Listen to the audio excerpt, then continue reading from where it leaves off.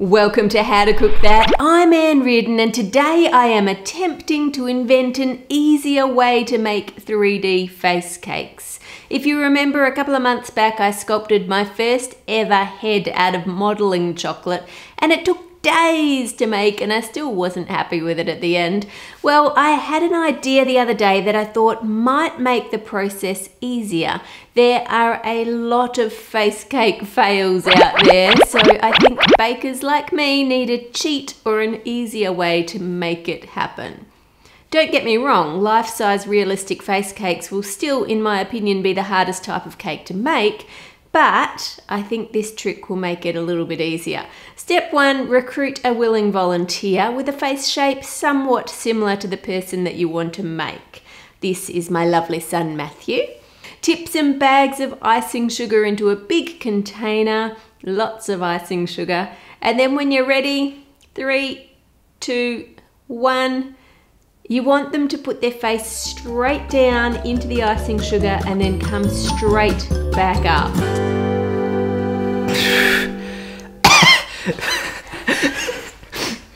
oh, my nose. I reckon we've got an okay imprint there. There's quite a bit of loose bits that fell off as you came up, but we'll see if this works. Thanks, Matthew.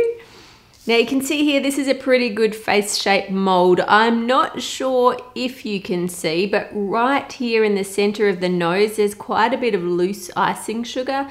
I'm not sure if this will work, but I'm just gonna try and suction it out with a pipette. Yeah, that's not really helping. So let's just use it as it is. Now I'm gonna pour in some melted white compound chocolate. You can use real chocolate if you want to, just make sure you temper it. And then we just need to wait for that to set, which is going to take a little while because it's quite thick. The moment of truth. Let's pull it out. That looks pretty terrible. but there is a thick layer of icing sugar caked onto it, so you never know, it might be okay. I wonder if running it under cold water will get that off. Uh, it's not coming off. I can't use hot water because that will melt the chocolate as well as melting the icing sugar and that will ruin the face if there even is a face. If I give it some encouragement with a spoon, it seems to be coming off. So I'll just keep working on that. 10 minutes later and there's just little bits of icing sugar left and they seem to be coming off fairly easily. This has given a pretty good basic face shape but his nose is wrong. It's kind of squished or squashed as he put his face into the icing sugar. Now you can tell from the chin there that he was sticking his head forward as he put it in and his lips are a bit flatter than they are in real life, but I think we can work with that. It gives us a starting point. The first thing I need to do is a bit of plastic surgery to this squashed nose, just take off that flattened bit and then make a couple of nostrils. Now we can obviously build up with the modeling chocolate, but it's gonna be hard to go down. So anything that shouldn't be there, we need to take out now. I don't have another tub of modeling chocolate, I'm just gonna be honest with you. So I am literally smashing up the rock, sorry Dwayne, don't take it personally, so that I can use that modeling chocolate to make Prince Harry. Now, if we look at the side profile, then we can decide what needs building up. And to turn Matt into Prince Harry, I need to add more to his nose and to the brow area there. Because Matt's lips were flattened while he put it in the icing sugar, I'm just gonna add a little bit on top of them as well. And then roll out the rest of the modeling chocolate and add that over the top. I warmed up my modeling chocolate in the microwave just to make it easier to mix it into a smooth, even color and get a workable consistency. I'm surprised, but mashed rock actually makes a perfect skin tone for Prince Harry. So if you want to make this cake, just make the rock first and then you don't have to do that. If you want to know how to color fondant, I've got a whole video on how to do that. The same coloring will apply to modeling chocolate. Cut around where the eye is. Having a firm piece of chocolate underneath actually makes this super easy. Remove that bit of modeling chocolate and do that on the other eye too. And now add a tiny ball of white fondant and spread it out to cover the eye area. He looks kind of creepy now. Now, Prince Harry is older than Matthew, so he has a bit more skin coming down under his brow here, so I'll just add that. This is a bit like FaceApp, making a young face older. He's also rocking a moustache, so we need to add an extra bit of volume for that. Now, I know this is skin tone and his moustache isn't this color, but we'll color it later. It'll be easier that way. We just need to get the shape right. Just add a bit of texture along there so that it's not smooth, so it doesn't look like his skin. And now for his beard. Just a really thin layer of modeling chocolate on top, smooth that on on the edges, and then texturize that too so you've got the lines going down in the direction that the hair goes. For those of you who didn't watch the rock video, this is modeling chocolate not fondant and it's heaps easier to work with because you've got more time to carve into it or sculpt with it. Fondant forms a dry skin quite quickly, so it isn't very easy to work with for something like this. Add some texture to those eyebrows as well.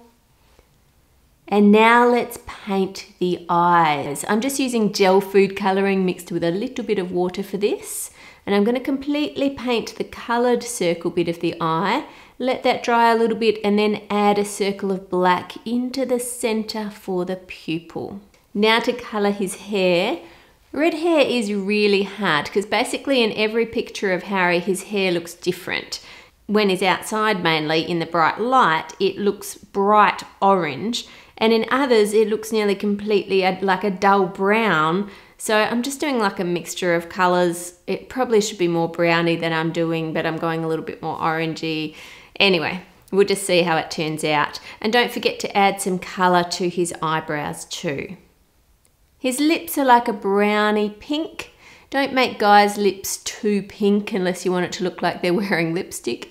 If you look at photos of Harry, his skin is quite red on his nose and a little bit blushed on his cheeks. So I'm just using a dry paintbrush just to dab on some powdered food colour to add those skin tones and that little bit of variation. I'm also going to dust a bit of grey around the eye area just to sort of deepen the look of that there. Now, of course, this is just the front of his face because to be honest, I wasn't actually sure if my icing sugar mold idea was to actually work or not. So it did work, which is great, but now we have to turn this into a head. But it's only my second head I've ever made, so I'm sure you guys will forgive me for that.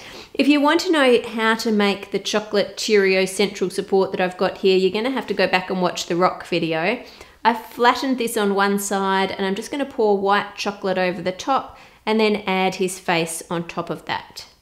Tip some marshmallows into a bowl and you want to microwave them until they're melted and then tip in some rice bubbles and stir that around until you have this yummy sticky mixture.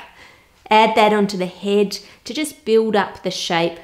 And to stop this sticking to your hands, you're going to need to dampen your hands, otherwise, it's literally going to stick to you. And just make it the shape that you want it to be. That's not really quite the right head shape, but it's going to have to do for today. While that sets, I'm going to make up a few trays of my moist orange almond and berry cake. All the recipe details for this are on the howtocookthat.net website for you. I'll link to that below. And I like to sprinkle the frozen berries over the top of the cake batter rather than mixing them through, and that way they don't get squashed. Okay, back to his head. Dave thinks it looks like his brain is sticking out the back of his head. I'm just going to use a little bit more white chocolate to fill any holes that are there and to smooth it out a bit so we don't end up with a really lumpy head. Once that's set, I can add more modeling chocolate to cover it and I'm going to add that in strips just to make it easier to handle. Just press along the join where it meets the face. We need ears, of course. Now, I really should look at a picture of an ear because I can't quite remember what they look like apart from weird when you really look at them. And I know this is not quite right, but it's the best you're going to get today because it's getting kind of late. Add a strip for where his beard meets his hair and conveniently covers the face join and blend that in a bit and texturize it. I'm running short on modelling chocolate, so I'm going to have to swap and start using fondant for his hair. See how this is drying out already because it's fondant? I only just put it on and it's already hard to shape. It's already starting to crumble, so I can't do much to shape that front bit. So I'm going to have to add one little section at a time and texturize it rather than adding it all at once. I'm also going to cut some little extra bits a little bit at a time and add those in for hairs that are sticking up a bit. Then use gel food colouring to add a bit more colour variation to the hair and make it match the beard. Angle the head where you want it to be and build up the cake around it. I'm just layering that with an orange buttercream. Place the shoulder template in front of the cake and cut around the shape of the paper and then carve a little bit off the front of the shoulders to round them out so they're not quite so square and then you want to cover that in buttercream. Add a piece of fondant for the front of his shirt and then put another strip right down the middle there and add the collar around the neck. Cut a little circle and add a couple of little dots or little holes so it looks like a button and put that on and then cut yourself a rectangle of black and kind of squish it, kind of fold it in the center, and then wrap some extra black around the middle to make a bow tie. And we're gonna leave this flat on the baking paper to dry out. Now I need more black fondant and cake decorating stores are not open at this time of night, so I'm gonna get some sleep and come back to this tomorrow. Roll out some black fondant and chuck that over one shoulder, trim it to size and then press down using the back of a knife where the shoulder seam is on a jacket. Then add a couple of little creases at the join to make it look more like fabric and a seam across the top of his shoulder. Use the template to cut and add the extra pieces of black to the jacket and then put on his bow tie. Fondant will stick to itself if you use just a tiny bit of water and hold it together for a second or two. His hair is a bit too orangey in my opinion. It should definitely be a bit more brown. Having a face mold to start from definitely made this process a lot, lot easier. I know he doesn't look like a perfect Prince Harry, but at least his face is symmetrical, it's in proportion, and he looks like a person. I did see a video by one person who makes 3D realistic head cakes, and it takes him three weeks just to make the head. So if you don't have three weeks to spend on a cake, maybe give this idea of moulding your face in icing sugar a go. Subscribe to How to Cook That, turn on the bell and all that jazz, you know what to do. With many thanks to my patrons who make my crazy ideas like sticking your face in icing sugar come to life. Tastes like sugar.